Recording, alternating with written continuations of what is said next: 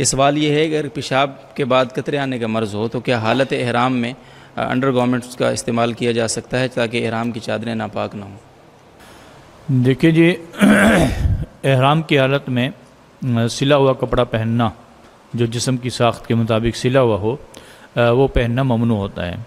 और अंडरवियर जो है ना, जो वो भी इसी तरह सिला हुआ कपड़ा है, वो पहनना ममनू है। लेकिन अगर इनको उज़र है, जैसे कि उन्होंने बयान किया है पेशाब के कतरों का तो उसका जो आसान तरीका है, वो ये है कि ये लंगोट बाँध ले। यानी सिला हुआ कपड़ा ना हो, गैर सिला हुआ चादर या उसको जैसे पहलवान लंगोट बांधते हैं, उस तरह का लंगोट बाँध ले तो कोई हरज नहीं है, वही अंडरवियर का काम हो जाएगा इसका। लेकिन अगर इन्होंने लंगोट ना बांधा तो फिर और ये अंडरवियर ही पहना है तो फिर इनको उसकी जिनायत पहनना इसके लिए जायज़ होगा, लेकिन उसकी जिनायत का उनको कबूल करना पड़ेगा।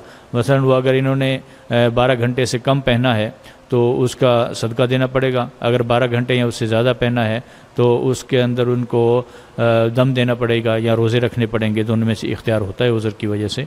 तो ये ज़रूरी होगा इनके लिए। उज़र की वजह से पहन तो सकते हैं, लेकिन जिनायत इनके ऊपर आएगी।